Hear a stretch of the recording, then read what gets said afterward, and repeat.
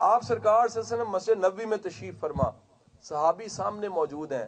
میرا رسول کہتا ہے، یہ بتاؤ، رات صدقہ کس نے کیا تھا؟ رات صدقہ کس نے کیا تھا؟ تو سب صحابی خاموش رہتے ہیں، کوئی نہیں بولتا کہ صدقہ میں نے کیا تھا۔ دوسری بار پھر میرا رسول پوچھتا ہے کہ رات صدقہ کس نے کیا تھا؟ خاموشی ہوتی ہے۔ تیسری بار آپ جذبات سے پوچھتے ہیں، بتاؤ، رات صدقہ کس نے کیا تھا؟ تو ایک صحابی کامتی ٹانگوں ہاتھوں کے ساتھ کھڑے ہو کے کہتے ہیں، یا رسول اللہ، صدقہ میں نے کیا تھا۔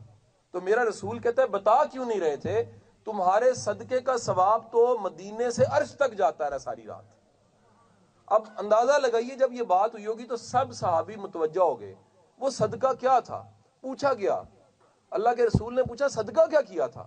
آخر وہ کون سا صدقہ تھا جو تم نے کیا اور تمہارا ثواب جو ان سے وہ مدینے سے عرش تک ساری رات فرشتے لے کے جاتے رہے۔ اس صحابی نے کہا، یا رسول اللہ، رات سونے لگا، نیند نہیں آ رہی تھی۔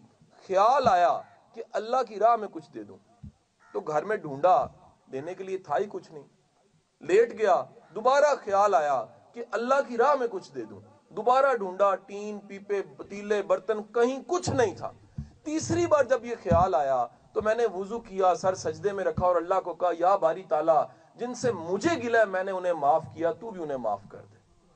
یعنی سچی معافی معافی دے دینا، اپنے دل سے نکال دینا کہ میں نے کل کو بدلہ لینا ہے۔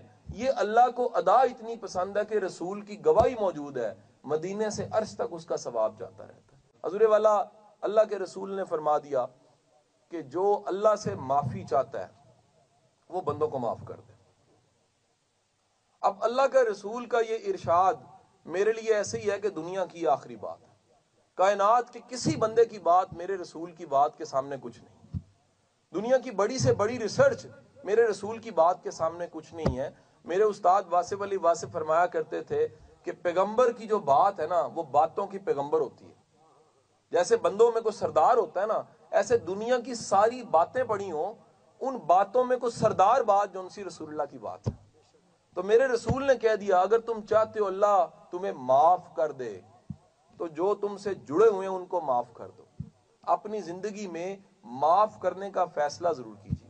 انسان کو سب سے تنگ کرنے والا جو جذبہ ہے نا نیگیٹو جذبہ، وہ گرج ہے کہ میں بدلا لوں گا، میں بتاؤں گا۔